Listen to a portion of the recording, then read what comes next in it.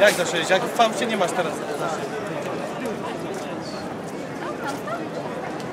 Ty mówisz do mnie w ogóle. Był tam.